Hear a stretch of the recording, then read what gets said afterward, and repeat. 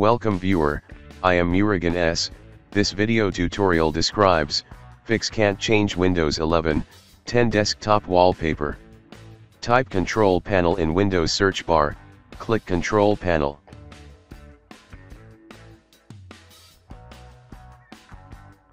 Click ease of access center. Click make the computer easier to see. Uncheck remove background images where available.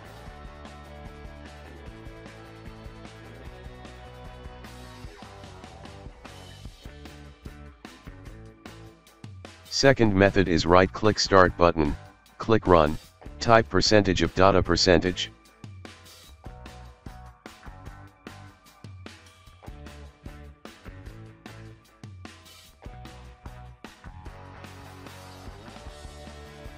Click View, click Show, select Hidden Items.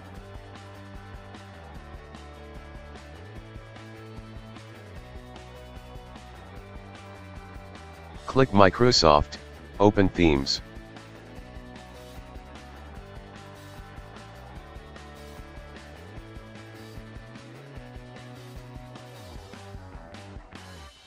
Rename transcode wallpaper to transcode wallpaper underscore old.